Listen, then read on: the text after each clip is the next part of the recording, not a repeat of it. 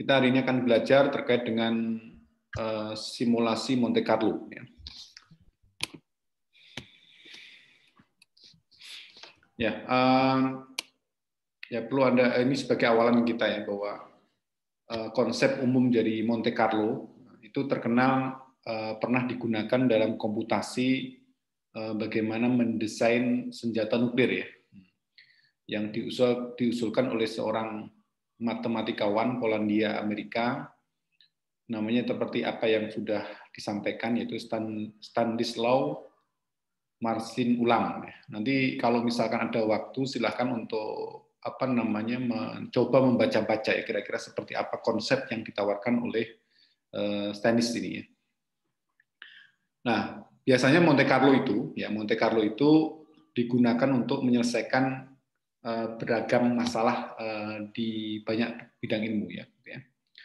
Di bidang eh, apa ya? Tadi seperti tadi ya mendesain senjata nuklir itu kan bagaimana dia nanti ledakannya dan sebagainya itu kan perlu ada suatu simulasi. Pastinya perlu simulasi dan pastinya apa yang diledakkan itu partikel-partikelnya akan bergerak acak ya, bergerak acak mana apa namanya sangat luar biasa gerakannya sehingga bisa menyebabkan ya pastinya kerusakan-kerusakan yang sangat luar biasa.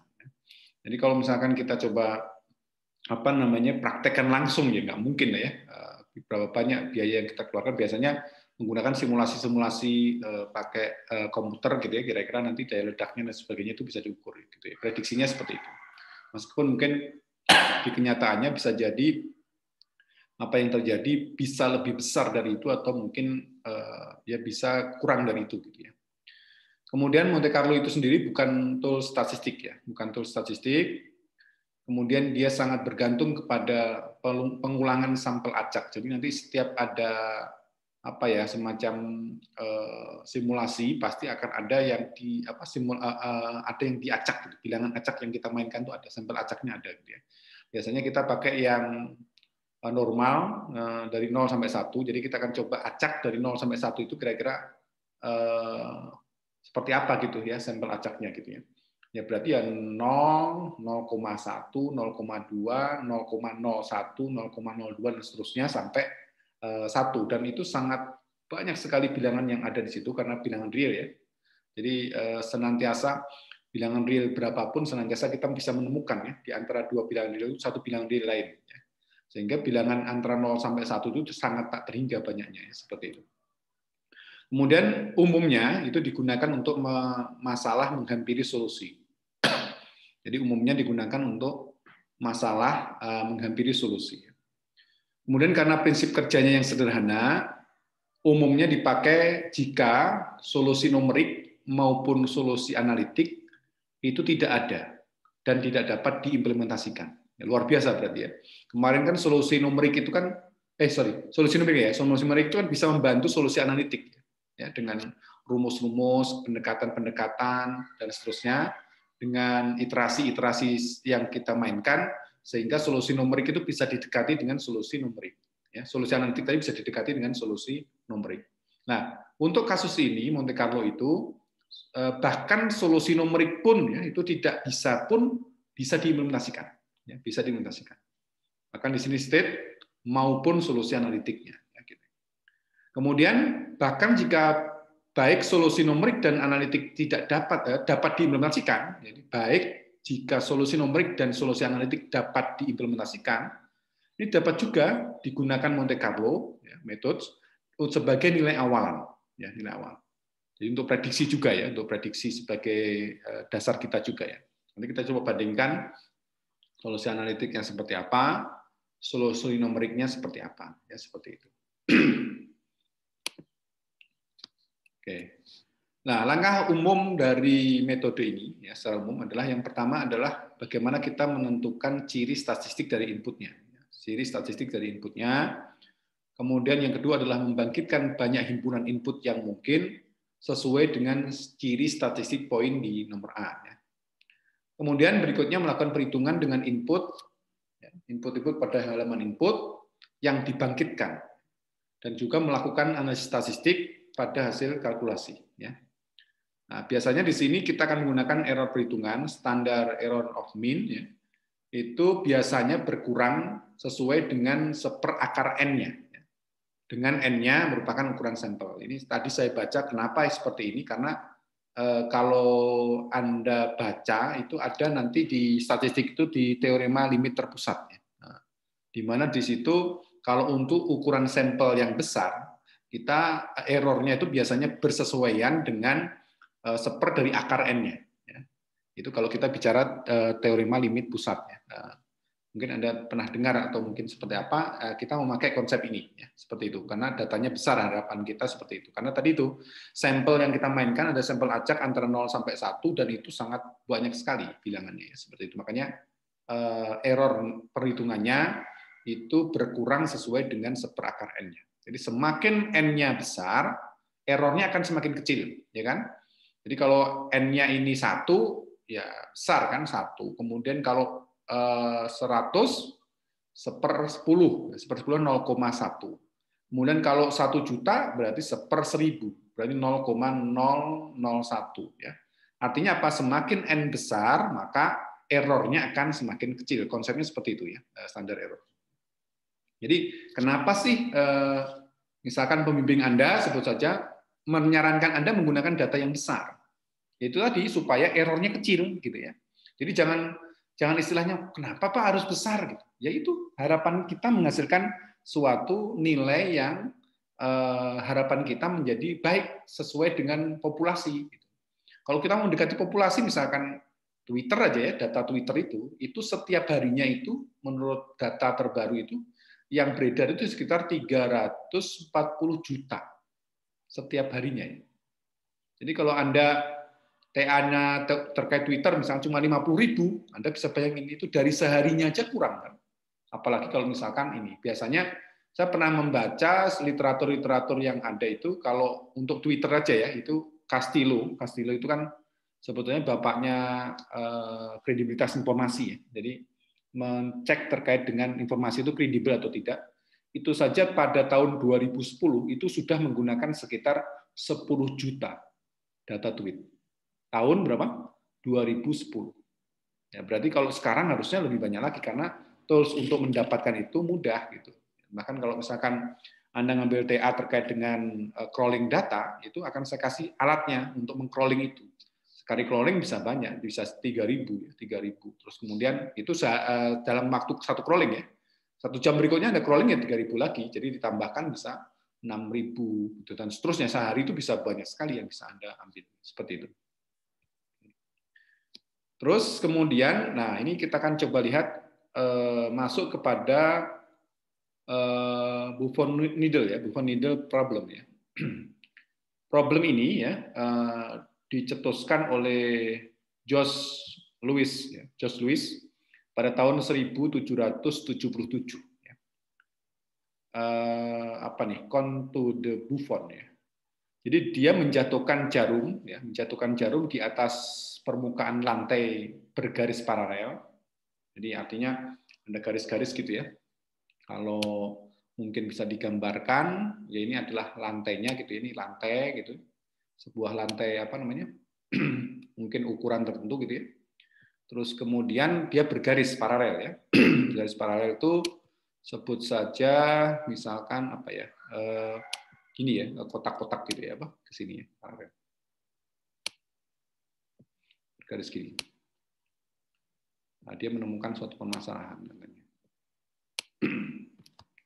Nah, perhitungan peluang ya, jarum yang jatuh yang akan berpotongan dengan garis itu dapat digunakan untuk menghampiri suatu bilangan irasional, yaitu apa namanya pi. Ya, di mana pi itu adalah 3,1415926 dan seterusnya. Ya. Pi, pi ya, yang kita sering uh, pakai untuk menghitung luas lingkaran, ya. uh, pi r kuadrat, uh, terus kemudian seperempat Nah, seperempat PD kuadrat dan sebagainya itu bisa dipakai ya. Pi, pi, pi itu keliling lingkaran juga bisa dipakai. Pokoknya berbau-bau lingkaran biasanya pakai pi ini. Ya. Atau kita belajar radian. Radian biasanya 180 derajat itu adalah pi. Sehingga dari situ eh, apa namanya satu derajat itu berapa eh, radian kan bisa diukur ya seperti itu. Oke. Ya. Jadi saya ulang lagi, jadi dia menjatuhkan jarum. Nah, ini yang yang tugas Anda itu itu. Ya, tugas Anda nanti seperti itu. Jadi bagaimana Anda mengerjakan eh, penelitian ini, penelitian ini perorangan gitu ya. Nanti Anda lakukan itu bukan jarum ya. Kalau jarum sekasih 100 jarum kan susah nyarinya ya. Mungkin 100 korek api lagi ya, atau 100 lidi gitu ya. Yang di mana dijatuhkan di dalam permukaan lantai bergaris paralel, di mana perhitungan ini peluang jarum jatuh yang berpotongan dengan garis yang ada ya garis yang ada itu artinya berarti garis ini misalkan kalau dijatuhkan tadi misalkan ini jarumnya saya jatuhkan gitu jarumnya saya jatuhkan. Nah ini misalkan eh, kacak gitu namanya juga acak ya. Ada yang mungkin yang di sini gitu ya. Ada yang di sini ada yang gini lagi ya ada yang gini kemudian gini misalkan ya. Jadi eh, jarum yang jatuh di mana dia berpotongan dengan garis tadi. Ini kan ini garis berarti kan berpotongan di satu. Kemudian dua. Kemudian ini nggak berpotongan, ini nggak berpotongan, nggak berpotongan. Kemudian ini berpotongan. Ya, berarti ada empat ya. Empat. Kemudian dibandingkan dengan jumlah total. Gitu ya. Nah itu untuk bisa nanti kita gunakan untuk menghampiri nilai uh, bilangan irasional yaitu b. Ya seperti itu. Nanti triknya gimana nanti kita bisa bahas dan Anda bisa lakukan nanti ya seperti itu. Nah, jadi misalkan seperti itu dijatuhkan, di mana D itu adalah lebar dari uh, ini, D itu adalah lebar dari garis tadi, ya. sedangkan L itu adalah panjang dari uh, jarum, ya, panjang dari jarum. Bisa jarum, bisa lidi, bisa apa ya, bisa uh, korek api, bisa juga diadabandingkan. Seperti itu. Di mana nanti jatuh, jatuhnya seperti ini. Jadi kita akan dapatkan LX ya, X itu Eh, ini saya hapus aja dulu ya karena sudah ada gambarnya ya. Nah, gimana kalau misalnya kita jatuhkan ini kan adalah eh, L tadi ya. L itu eh, ini dan diharapkan L-nya itu harus lebih kecil dari D-nya ya. Lebih kecil dari D. L itu dia lebih D. Dan kalau misalnya korek api nanti Anda ukur panjangnya sekitar berapa ya? 4 cm misalkan ya berarti lebarnya harus dibuat menjadi lebih besar dari itu misalkan 5 cm gitu ya. Sehingga kalau misalnya dijatuhkan seperti ini, miring seperti ini, kita akan dapatkan bahwa ini adalah sudutnya theta, sudutnya theta. Terus kemudian ini adalah panjang dari lidinya yaitu ASB itu, jadi L. Sehingga kita akan dapatkan X itu akan sama dengan L cos theta. Ya, L cos theta. Ini rumus biasa ya, pakai trigonometri ya. X sama dengan L cos theta. Nah, misalkan lebar dari garis paralel dari D, garis paralelnya adalah D, dan asumsikan panjang jarumnya itu adalah L, di mana L-nya itu harus kita buat lebih kecil atau sama dengan D. Tidak boleh lebih besar ya. Kalau lebih besar nanti Anda akan menghadapkan suatu permasalahan yang lain. Artinya ya nanti ada yang misalkan menyentuh, diharapkan di sini menyentuhnya cuma satu ini, satu garis ya. Jadi yang menyentuh satu garis. Kalau menyentuh dua garis berarti panjang L-nya kan pastinya lebih besar, ya kan? Jadi diharapkan nanti Anda bikin di mana L itu itu lebih kecil atau sama dengan dengan D. Jadi Anda jatuhkan dari 30 eh, cm dari atas di kan, apa di lantai itu Anda jatuhkan gitu ya. Anda jatuhkan terus kemudian Anda hitung jumlah dari eh, ke garis atau jumlah dari apa eh, lidi atau jumlah dari korek api atau jarum yang me, apa namanya menyentuh dari garis paralelnya, garis paralelnya seperti itu ya. Nah, AB itu merupakan ujung-ujung jarum dan untuk setiap AB dapat dibuat segmen ya, garis PQ ya, garis PQ jadi PQ itu gini eh, yang tegak lurus ya terhadap apa garis paralel tadi sehingga A berada pada ujung segmen garis PQ ya. Jadi kita buat garisnya memotong A, memotong A sehingga kita akan dapatkan eh, apa namanya segitiga ya, segitiga siku-siku di situ ya di mana P sebagai sikunya ya seperti itu. Oke. Ya, tanpa mengeliminasi kondisi umum, asumsikan bahwa A itu berada pada segmen PQ. Ya. Segmen PQ, jadi A itu kan ada di situ. Kemudian jarum selalu berada di sebelah kanan. Jarum berada di sebelah kanan, PQ ya. Jadi kita senantiasa bisa membuat seperti itu. Ya. sebelah kanan PQ, di mana tetanya itu dari 0 sampai pi per 2. 0 sampai pi per 2 tetanya ya. Kemudian A berada pada segmen PQ yang memiliki panjang D dan berjarak X ya, pada P, eh, dari P ya, dengan sudut theta, tetanya bergerak dari 0 eh, sampai pi per 2. Jadi theta itu hanya berkisar 0 sampai pi per 2, sehingga kita akan bisa melihat bahwa jika jarum tadi memotong X, memotong, eh, memotong garis ya, eh, apa, ini jarum tadi memotong garis, maka X selalu memenuhi bahwa X itu senantiasa lebih kecil sama dengan L cos theta. Ya, L cos theta. Ya. Jadi artinya ini maksimal. Maksimal berarti ujung B itu ada di eh, di garis ya. Kalau misalkan nanti sebut saja Anda jatuhkan, misalkan posisi ini, ya, posisi ini, ya, posisi ini.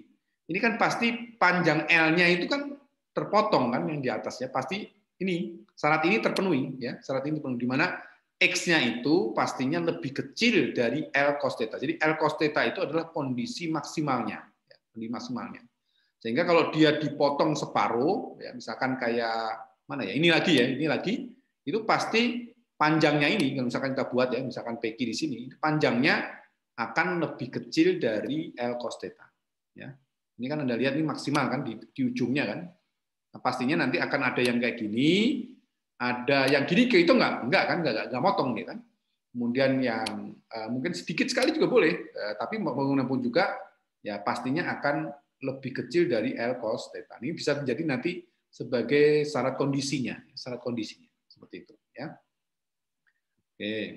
Sampai sini ada yang menanyakan silahkan sambil bertanya aja enggak apa ya.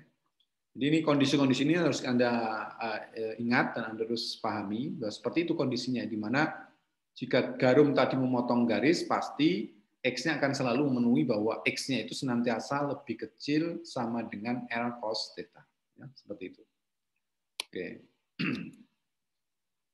Nah, kalau ada yang ditanyakan. Nah, kita akan coba ya, membuat grafiknya ya. Jadi eh, nilai X-nya terhadap theta. Nilai X-nya terhadap theta. Ya. Nilai X-nya kan tadi apa? Lebih kecil dari L cos theta. Ya. Lebih kecil dari L cos theta. Sehingga kalau digambarkan ya eh, seperti ini ya. Jadi ini adalah 0L, 0L kan eh, tadi sudah saya bilang kepada Anda bahwa L-nya itu dibuat dia lebih kecil sama dengan D.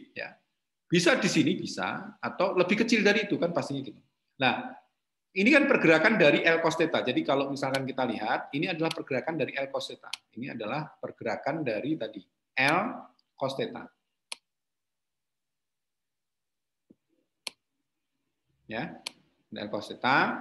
Kalau nilainya eh, tetanya itu pi per 2, nah maka pi per, cos pi per 2 itu berapa? Cos pi per 2 itu berapa? 0 ya. Cos pi per 2 0. Kemudian cos 0 itu adalah 1, jadi L. Jadi L sampai pi per 2, pergerakannya gitu aja. Nah ini adalah daerah Z-nya tadi. Sehingga dapat diformulasikan bahwa peluang jarum memotong garis, ya, peluang jarum memotong garis, itu akan sama dengan ini W tadi W itu adalah area Z yang diarsir ini dibagi dengan total area persegi panjangnya. Area persegi panjangnya kan lebar kali tinggi, eh, lebar kali eh, panjang kali lebar. Panjangnya D, lebarnya adalah pi per 2. Nah, area Z tadi itu adalah integral dari 0 sampai pi per 2. Nah, tadi kan L cos theta, jadi L cos theta d theta. L cos theta d theta. Ya. Sehingga akan sama dengan kalau 2 sampai pi per 2 akan sama dengan 2L dibagi PD, ya, PD. Ya, kita lihat ya. Eh, kita lihat ini luasnya berapa nih. Nah, kalkulus biasa ya, sederhana ya ini ya. Ini kita hitung. Nah, kira-kira berapa nih kira-kira? Integral dari eh, apa? L cos theta. L cos theta d theta ya. di theta. Nah, terus ini 0 sampai uh, pi per 2. Nah, karena uh, apa? Cos uh, di, apa diintegralkan terhadap theta, jadi L-nya bisa keluar kan? L-nya bisa keluar karena nggak ada tetanya. Nah, integral cos apa? Integral cos adalah apa? Min sin ya? Betul nggak? Atau sin? Min sin. Atau sin, benar nggak? Eh, sin ya? Integral ini adalah sin. Sin theta. Nah, batasnya dari mana ke mana? Dari 0 sampai pi per 2 ya. Pi per 2. Jadi Anda masukkan berarti apa? L L apa? Sin pi per 2 gitu ya. Sin pi per 2 dikurangi dengan sin 0. Ya kan? Gitu kan. Rumusnya kan? Masih ingat nggak kalkulus? Masih? Ini harapan Anda masih pada ini, masih pada melek ini ya. Biasanya kalau puasa itu agak susah juga ya untuk meleknya ya. Nah, gini. Nah, sin pi per 2 itu berapa? Kalau kita buat garisnya berapa? Eh, sin pi per 2 itu adalah satu, jadi L sama dengan ya. Kemudian L. Sehingga di sini L ini, nah ini kan pi per 2 nih, ya kan, dibawa ke atas. Jadi 2 L dibagi PD. Ya, seperti itu. Ya. Oke. Semoga bisa ikuti ya. Nah, sehingga dari sini akan kita dapatkan bahwa P itu P itu akan sama dengan 2L per D dikalikan dengan total area persegi dibagi dengan area dari Z-nya. Area dari Z-nya. Nah, ini cuma dibalik aja. Jadi eh, P-nya dibawa ke sana, ditalikan, terus kemudian areanya dibagi ke bawah, total area perseginya kalikan ke atas sehingga 2L total persegi dibagi dengan area Z. Sehingga eh, apa tadi bisa diaproksimasi dengan 2L per D ya, dikalikan dengan N. N adalah jumlah total ya, jumlah total dari sampel dibagi dengan Q. Q itu adalah apa? Eh, garis apa eh, jarum yang memotong tadi, yang memotong garis jari memotong garis. Atau kalau Anda pakai lidi, berarti lidi yang memotong garis. Ya. Atau eh, kalau misalnya Anda pakai korek api, berarti eh, jumlah N itu adalah jumlah total korek api, sedangkan Q-nya adalah jumlah korek api yang memotong, memotong garis. Ya, seperti itu. Nah, sini paham nggak kira-kira? Silahkan kalau misalnya ada yang ditanyakan, silahkan. Oke, seperti itu eh, penjelasan terkait ini. Nah, jadi Q itu adalah total jarum yang jatuh ya memotong garis dari jumlah n ya, percobaan yang dilakukan dengan jumlah n percobaan yang dilakukan.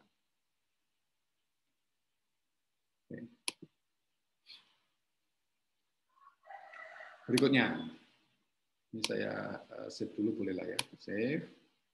Kita lanjutkan lagi. Nah, semakin n besar ya, semakin n besar, ya, semakin n-nya besar, dan men, apa namanya eh, semakin besar n semakin mendekati nilai p-nya ya.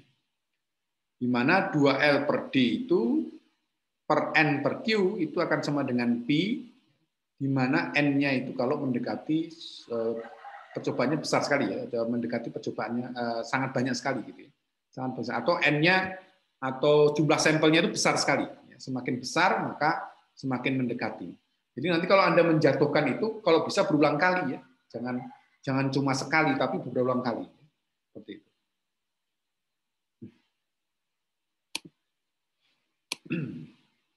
Tapi kalau untuk percobaan kali ini, saya akan coba Anda menggunakan 20 eh, kali. Kalau misalnya 100 kali, gimana Pak? Boleh, silakan ya. Boleh-boleh aja. Nah, ini adalah eh, kita akan mencoba bagaimana kita membangun ya algoritma dari Hoover Needle tadi ya. Jadi kita input ya, n ukurannya sampelnya adalah 0 eh, k uh, ini adalah uh, apa namanya?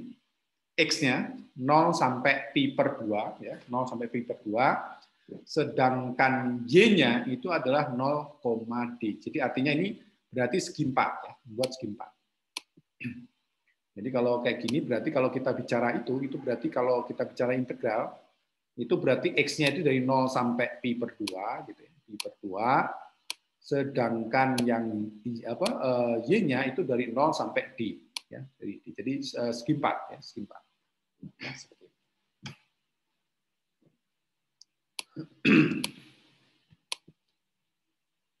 Kemudian kita bangkitkan ya bilangan acak. Artinya tadi yang jatuhnya tadi itu acak kan. Jadi kita coba bangkitkan bilangan acak xi, theta i di mana uh, itu ada di 0 sampai pi per 2 uh, eh, di apa di dalam lingkaran di dalam kotak ini, dalam kotak ini. Di mana bilangan acak tadi adalah uniform ya. Uniform bisa atau normal juga bisa, no problem ya.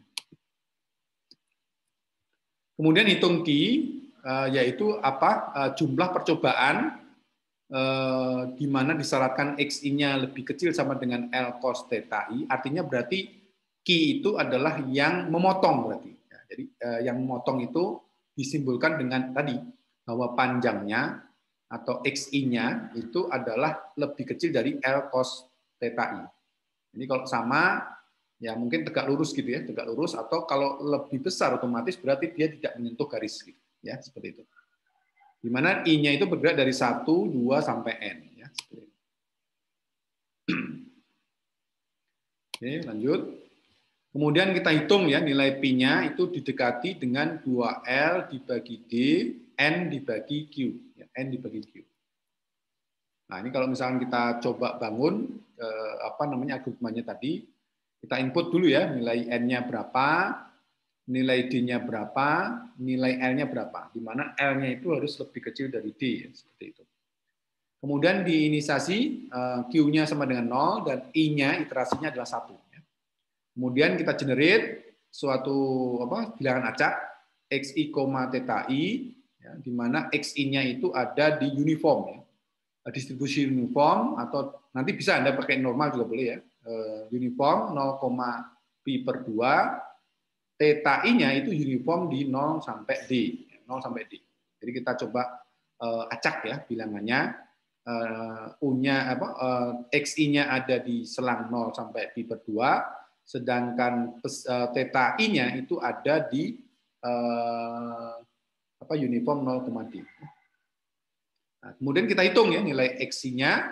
Nah, XI-nya kalau misalkan Eh, kan nanti kita hitung ya, berarti L-nya kan sudah ditentukan, L-nya sudah ditentukan, terus kemudian nilai theta I-nya ditentukan, XI-nya ditentukan dari mana? Dari random tadi. Ya.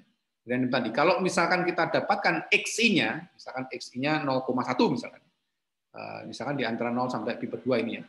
Terus kemudian nilai eh, theta I-nya misalkan di 0 sampai D. Kita masukkan aja, kita hitung, kalau dia itu nilainya lebih kecil sama dengan L cos I, maka Q-nya dihitung. Itu berarti menyentuh garis, berarti dihitung satu. Ya.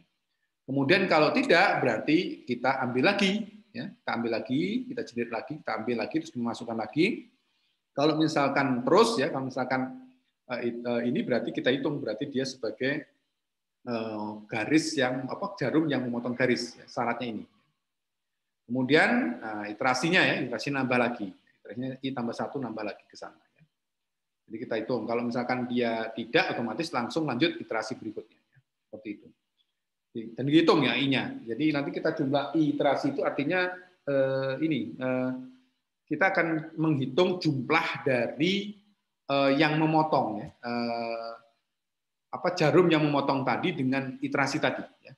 Jadi I-nya kan sampai N ya. Jadi sebetulnya ini boleh aja nanti berarti kan lebih dari N pastinya ya. Kenapa? Karena tadi itu apa namanya kita gerakkan tadi ya, seperti itu. Kemudian dari situ kita hitung nilai pi-nya adalah N per Q 2L per D ya. Seperti itu ya. Terus terusnya dan seterusnya dan kita lakukan seperti itu. Sehingga kita akan dapatkan nanti eh, nilai ya, nilainya seperti apa. Ya, kalau coba eh, nanti kalau misalkan anda uh, dapatkan ya nilai hampiran uh, pi terhadap ukuran sampel n tadi, kita akan coba lihat seperti ini ya. Jadi kita akan lihat bahwa dengan metode Monte Carlo itu adalah titik-titik yang biru ini, ya, titik yang biru ini. Sedangkan pi eksaknya itu adalah yang garis merah. Ini eksaknya. Kemudian rata-rata seluruh sampel ya, itu adalah warna hijau ya, seperti ini. Jadi artinya kan kita jatuhkan satu, ini sampelnya berapa banyak. Kemudian jatuhkan dua, jatuhnya berapa banyak. Ini dirata-ratain terus ya seperti itu. Sehingga dengan error, errornya bisa dihitung ya, errornya seperti ini, 0,06 eh, dan seterusnya. seper akar n tadi ya, seper akar n. Kemudian jumlah errornya seperti ini, dikurangi pi eksaknya juga bisa ya, dengan rumus ini juga bisa, atau dengan pengaruh tadi ya, seper akar n, ya, seperti itu juga bisa, atau dengan menghitung seperti ini juga boleh. Nanti Anda coba lakukan ya, bahwa ini adalah berarti perhitungan dengan menggunakan metode Carlo, dikurangi dengan pi eksaknya, kemudian dari situ errornya berapa kita hitung. Nah, kita kira ratakan nilainya adalah 0,06 00684 dan seterusnya ya seperti itu.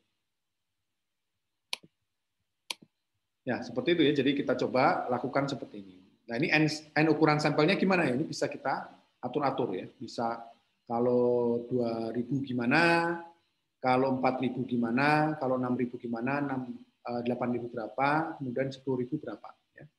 Jadi ini kan garis kalau misalkan sampelnya itu misalkan 2000. Berarti kalau kita lihat di sini Nah, ini kira-kira berapa iterasi yang kita inginkan berapa iterasi. Misalkan untuk masing-masing sampel ini kita jadi seribu, jadi gini. Pertama kita coba lemparkan 2000 jarum, ya, 2000 jarum. Nah, kita dari 2000 jarum itu kita ambil uh, iterasinya berapa banyak. Kemudian berikutnya kita lempar 4000 jarum. Berarti kita bukan hanya sekali lempar ya, berarti berkali-kali lempar. Berkali lempar kemudian 6.000 jarum, berarti 6.000 kita lemparkan, terus kemudian kita ambil eh, rata-ratanya, dan seterusnya. Jadi ini adalah prosesnya seperti itu. Jadi kita lakukan sampelnya itu bergerak dari 0 sampai 10.000. 10.000. Seperti itu. Harapannya semakin banyak sampel, harapannya nilainya semakin bagus. Nilai P eksaknya akan semakin bagus. Eh, P sesuai dengan metode Carlo ya, maaf. Atau rata-rata seluruh sampel ini. Oke.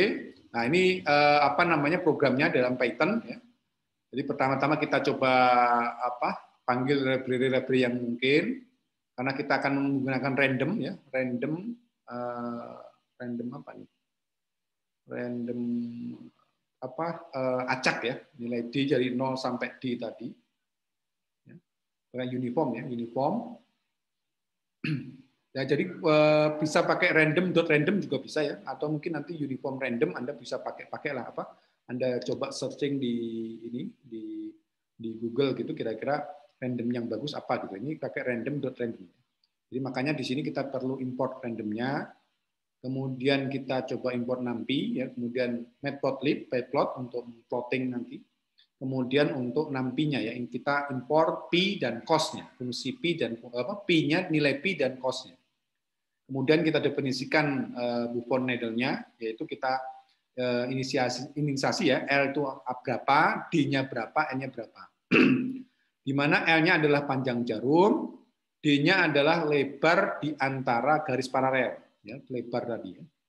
Kemudian berikutnya kita membangkitkan bilangan acak, nilai apa D gitu ya, di, di titik 0 sampai D. Jadi kalau 5 cm berarti 0 sampai 5, kalau satu senti berarti 0 sampai 1 dan seterusnya. Kemudian kita akan membangkitkan ya eh, theta juga, theta di 0 eh, sampai pi per 2 ya, pi per 2. Kemudian kita hitung ya, benar jika L dikalikan ya, sin theta itu dikurangi D lebih besar dari nilai D-nya. Ya, seperti itu. Ini cos atau theta, ini, ini salah nih ya. Eh, L dikalikan dengan cos ya, cos theta salah. Ini untuk menghitung tadi uh, hitung ya, hitung untuk iterasinya ya. I. Jadi ini ini akan muncul nanti untuk uh, apa namanya iterasi, untuk iterasinya. Hit sama dengan 0. Kemudian kita atur loopingnya ya, looping uh, sampai range n. Kemudian tetanya adalah pi dikalikan dengan random kali random ya, dibagi dua ya. Random random dibagi dua. Kemudian kalau D-nya kali random, randomnya itu lebih kecil dari L dikalikan dengan cos tetanya, maka kita hitung ya, hitung sebagai satu hitungan lagi, satu hitungan. Kemudian kita kalau misalkan sudah selesai berarti hit dikalikan eh, dibagi dengan n. Kemudian ini juga kita menghitung terkait dengan eh, menghitung pi-nya ya, menghitung pi, ya, menghitung pi. Kalau misalkan sudah selesai, kalau belum ya dia putar lagi, putar lagi yang syaratnya tadi. Kalau uh, apa namanya uh, di random-random tadi itu lebih kecil sama dengan L cos theta. Terus ya sampai iterasinya kan kita inginkan berapa banyak gitu ya. Silakan. Terus kemudian baru kemudian dihitung. Kalau sudah selesai berarti larinya ke sini. Jadi kita menghitung uh, nilai pi-nya, di mana L-nya tadi ditentukan satu, D-nya itu 4, ya. D-nya 4 untuk kasus ini ya, D-nya 4, kemudian P eksaknya itu adalah 2 kali L dibagi dengan Buffon, L, D, N dikalikan dengan D, dari situ berarti, oh ini estimasi ya, bukan eksak, estimasi, P estimasinya. Seperti ini rumusnya, 2 kali L, rumus ini ya, rumus mana? Oh, yang sebelumnya ya berarti ya yang di mana itu rumusnya adalah dua kali L dibalik dikalikan dengan ya nilai dari Buffon L D N dikalikan dengan D. Nah, kita hitung uh, PX, eh, apa, eh, estimasinya ya, seperti itu. Nah, ini kita akan coba X-nya itu ya. X-nya itu berarti dari X masing-masing sampel itu ada 100. Yang 100, sedangkan 10.000 ini itu adalah jumlah eh, apa ya eh, jumlah sampelnya. Jadi per sampel tadi itu ada eh, 100 iterasi yang kita lakukan. Ya. Jadi tadi itu eh, tadi itu yang titik ini itu titik ini itu ada 100 100 kali. Setiap titik ini ada 100.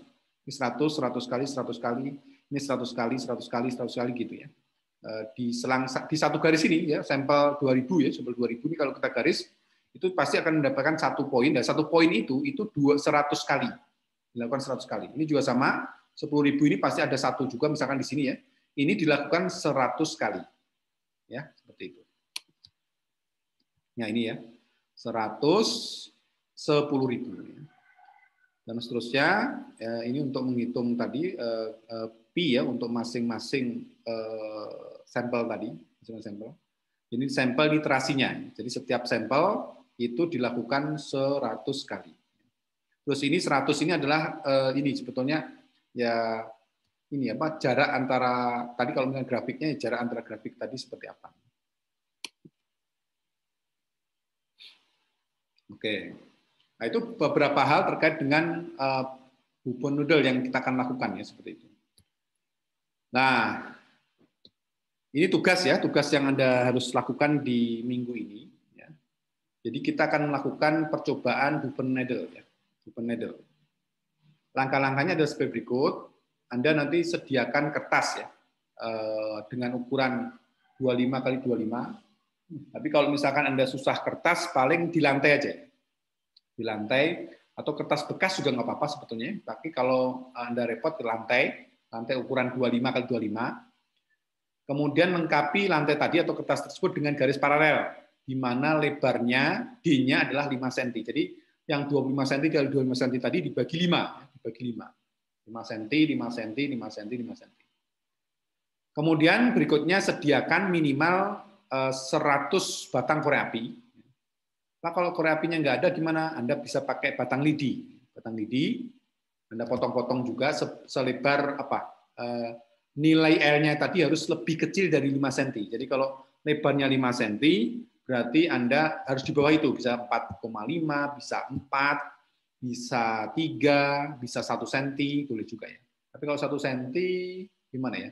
Terlalu kecil ya, nanti Anda bingung juga ngitungnya ya, mendingan 4 cm atau 4,5 atau 3 boleh lah ya, 3. Kalau terlalu kecil nanti bingung Anda. Nah, terus kemudian pastikan bahwa panjang korek apinya itu eh, di mana L-nya itu pasti lebih kecil dari D-nya, lebih kecil dari D. Kecil D, Kemudian berikutnya adalah jatuhkan kemudian n buah korek api itu bersamaan di atas kertas atau permukaan paralel ya di ketinggian tidak kurang dari 30 cm. 30 cm. Anda kira-kira lah ya. Jangan tinggi banget misalkan dari lantai satu. Anda naik ke lantai satu yang tingginya misalkan 4 meter Anda jatuhkan yang repot nanti.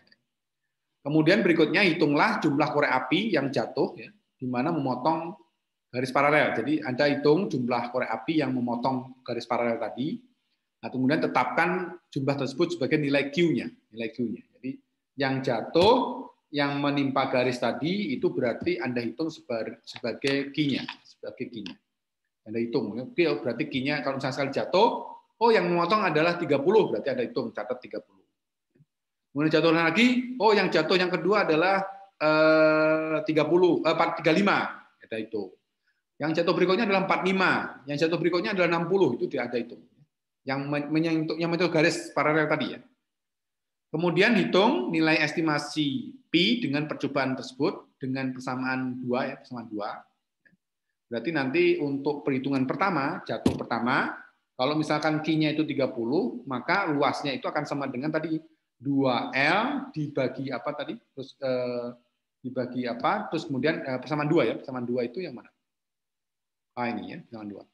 Berarti 2L, L-nya berapa tadi? Misalkan 4 ya, 4 cm, D-nya adalah 5 cm, nah N-nya itu 100 ya, N-nya 100, sedangkan Q-nya itu yang eh, korek yang memotong Q-nya.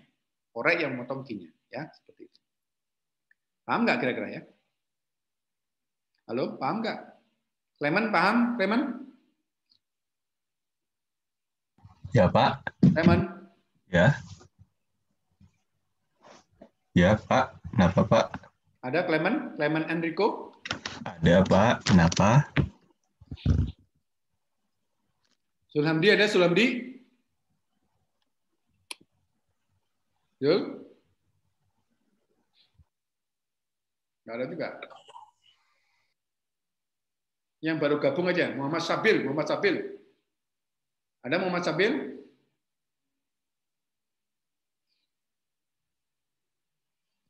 Ya, Pak. Ya, Sabil? Nggak dengeran, Bil? Ya, halo, Pak. Gimana? Uh, dengar nggak tadi pertanyaan saya? Atau nggak? Belum, Pak. Belum mendengar. Oh, belum mendengar. Ya, tadi uh, yang, yang hadir dari awal siapa? Yang hadir dari awal? Kleman, Kleman ada? Ya, Pak. Kenapa, Pak? Suara saya kedengeran terus nggak tadi? Atau saya ngigo sendiri jangan-jangan? Ada kok, Pak. Saya mau nanya, eh, tahu nggak yang dilakukan ini? Aku yang tahu, Pak. Saya tadi ada sempat putus-putus, Pak. Sempat putus-putus. uh, siapa yang hadir dari awal tuh siapa tadi ya? Saya mungkin ini Zulhamdi ada Zulhamdi? Ada Pak. Uh, paham dulu yang saya jelaskan dulu. Untuk tugasnya mungkin paham sih kayaknya. Ya. Jadi gini, nanti pertama-tama Anda eh, bikin pakai kertas boleh, kertas tempel di lantai gitu ya. Atau pakai tegel, tegel tahu ubin ya, ubin kita. Dan nanti dicari tuh ukurannya 25 kali 25. Jadi ada garis gitu ya. Mungkin 25 25 tadi ada garis 55, garis 55. Semua 55. Panjangnya ya 5 cm. Terus kemudian Anda ambil korek api boleh, atau Anda ambil batang lidi kalau misalkan nggak punya korek api, atau yang lainnya yang mungkin eh, Anda punya paku, mungkin paku juga paku ya paku-paku gitu boleh. Yang panjangnya harus lebih kecil dari D-nya. Panjangnya harus lebih kecil dari D. Di mana D-nya 5 cm berarti paku, korek api atau apa pun tadi yang kita lakukan itu pastinya lebih kecil dari itu gitu ya. Seperti itu. Terus kemudian ini syaratnya ya, D lebih kecil, eh, L lebih kecil dari D. Nah, kemudian apa? Anda jatuhkan tuh 100 ya, 100 apa batang korek api, 100 lidi atau 100 paku tadi ke ke tempat yang kita bikin kotak-kotak tadi ya, di ubin atau di eh, di lantai atau sebut saja di kertas boleh jatuhkan. Nah, nanti Anda hitung tuh jumlah korek api, batang lidi atau korek apa eh, paku misalkan ya yang jatuhnya memotong garis tadi, paralel tadi, 4, apa, per 5 cm tadi, di garis-garis tadi. Nah, ini tetapkan jumlah korek api yang memotong garis paralel itu sebagai nilai Q-nya, nilai Q-nya. Nah, kemudian dari situ hitung estimasi P-nya dengan percobaan eh, tersebut, yaitu persamaan dua yang tadi apa? 2 per apa? 2 L per D dikalikan dengan N dikalikan dengan Q di mana N-nya itu diketahui 100, N-nya 100, Q-nya itu adalah sama dengan jumlah dari apa tadi? Batang korek api atau apa namanya? batang korek api atau sebut saja ini ya batang korek api atau lidi tadi atau paku tadi jumlahnya berapa banyak yang memotong garis itu ya. Nah, Anda lakukan itu sebanyak 20 kali ya. Kemudian Anda hitung rata-rata nilai estimasi P-nya ya, yang diperoleh, yang diperoleh. Seperti itu.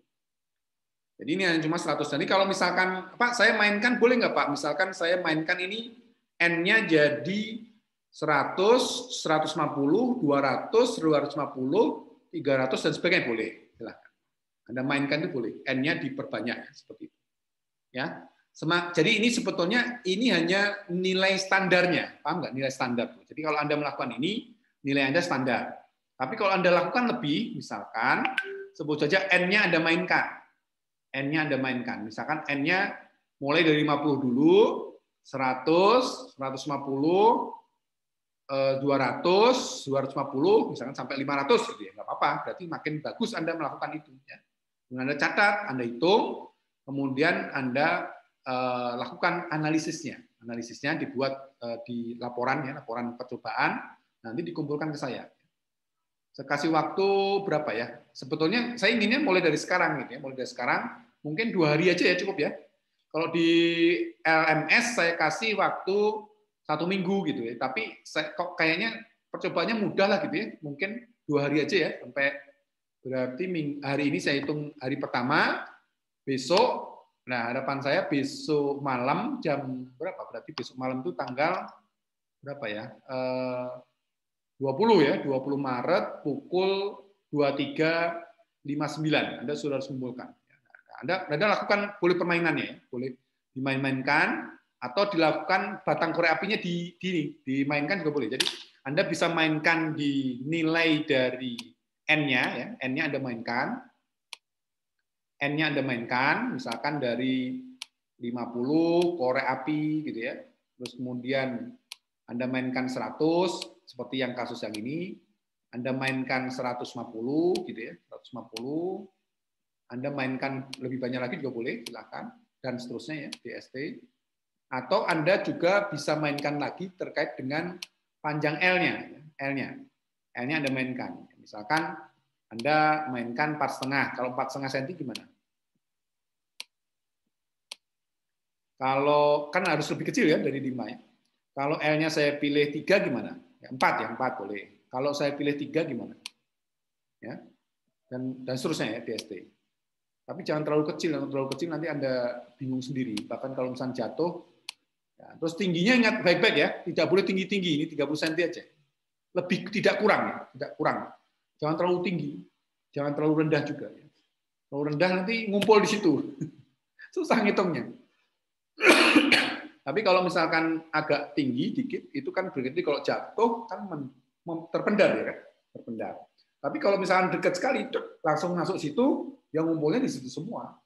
Jadi nggak akan ada dapatkan sesuatu hasil yang yang bagus yang Anda lakukan gitu. Tapi kalau misalkan agak tinggi, mungkin agak sedikit lebih bisa memvariasikan ya. Lebih tinggi 30 cm gitu ya, 30 cm, tak 30 cm jatuhkan atau lebih tinggi dikit lah apa-apa.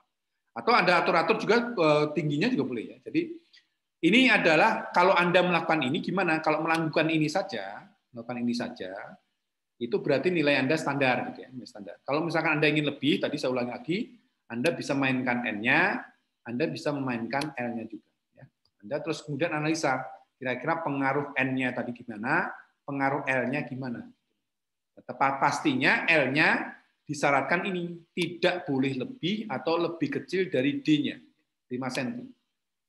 Ya, kalau D-nya saya lebarin lagi gimana Pak? Berarti lidinya harus lebih lebar lagi pastinya. Seperti itu. Jadi lebih lebar lagi. Kalau bisa jangan terlalu kecil. Kalau terlalu kecil nanti Anda kebingungan untuk menghitungnya. Kalau terlalu tadi juga sama ya, terlalu kecil repot, Kemudian kasus terkait tinggi juga melemparnya itu juga akan membuat Anda kerepotan juga. Di LMS sudah saya upload ya terkait itu juga eh, tugas-tugasnya. Ini bisa tegel ya, bisa tegel ubin rumah.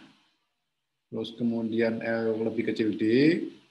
Kemudian buat laporan percobaan di kertas A4 dan hasil yang diperoleh disampaikan dan lakukan analisisnya ya. Ini .pdf ya, .pdf.